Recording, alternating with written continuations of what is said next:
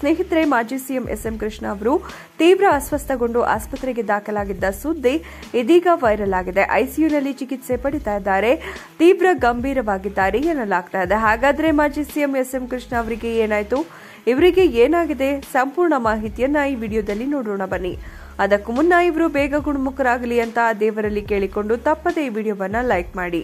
ಹೌದು. ಮಾಜಿ CM S M Krishna ಅಸ್ವಸ್ಥರಾಗಿದ್ದು ಬೆಂಗಳೂರಿನ ಮಣಿಪಾಲ್ ಆಸ್ಪತ್ರೆಯಲ್ಲಿ ಅವರನ್ನು ದಾಖಲಿಸಲಾಗಿದೆ. ತೀವ್ರ ನಿಗಾ ಘಟಕದಲ್ಲಿ ಜ್ವರ, ಶ್ವಾಸಕೋಶ ಸಮಸ್ಯೆಯಿಂದ ಬಳಲುತ್ತಿರುವ ಅವರಿಗೆ ಡಾಕ್ಟರ್ ಸತ್ಯನಾರಾಯಣ್ ಅಂಡ್ ಸುನಿಲ್ ಕಾರಂತ್ ತಂಡದಿಂದ ಐಸಿಯುನಲ್ಲಿ ಚಿಕಿತ್ಸೆ ಮುಂದುವರಿಸಲಾಗಿದೆ. ಹೆಚ್ಚಿನ ನಿಗಾ ವಹಿಸಲಾಗಿದೆ. ಇನ್ನು ಆರೋಗ್ಯ ಸಚಿವ ಡಾಕ್ಟರ್ ಕೆ ಸುಧಾಕರ್ ಅವರೊಂದಿಗೆ ಸಂಪರ್ಕದಲ್ಲಿ ಇರುವ ಮೂಲಕ ಮೇಲ್ವಿಚಾರಣೆಯನ್ನು ನಡೆಸ್ತಾ ಇದ್ದಾರೆ. ಇನ್ನು ಇವರ ಆರೋಗ್ಯದ ಬಗ್ಗೆ ಹೆಚ್ಚಿನ ಮಾಹಿತಿಯನ್ನ ನಿರೀಕ್ಷಿಸಲಾಗಿದೆ. ಇವರು ಬೇಗ ಗುಣಮುಖರಾಗಿ ಬರಲಿ ಅಂತ ಅದೇ ಇವರಲ್ಲಿ ಕೇಳಿಕೊಂಡು, get well soon, get well back ಅಂತ ಕಮೆಂಟ್ ಮಾಡಿ. ಹೀಗೆ ಎರಡು ವಾರದ ಹಿಂದೆ ಆಸ್ಪತ್ರೆಗೆ ಮಾಜಿ ಸಿಎಂ ಎಸ್ಎಂ ಕೃಷ್ಣ ದಾಖಲಾಗಿದ್ದ ವಿಡಿಯೋ